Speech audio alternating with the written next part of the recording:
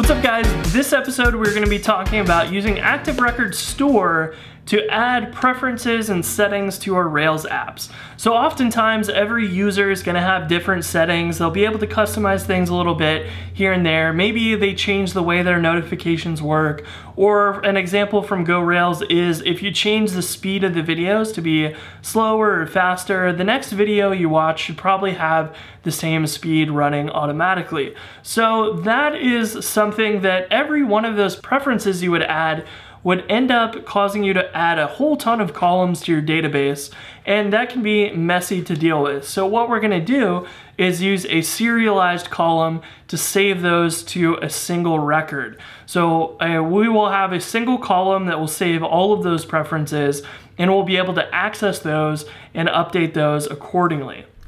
So to get started, I have a table here with a migration that is going to create a users table